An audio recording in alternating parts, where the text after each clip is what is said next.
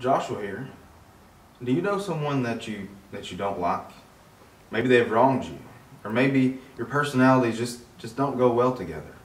Maybe they've hurt a, a loved one of yours. Either way, you just don't like them.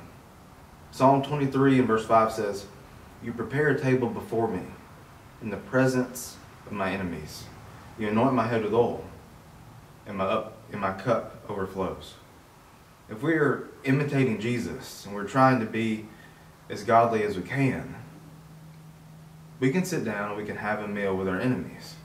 Just as the oil was used in the Bible times to heal wounds and keep them from getting irritated, God can heal our wounds and our irritation with our enemies.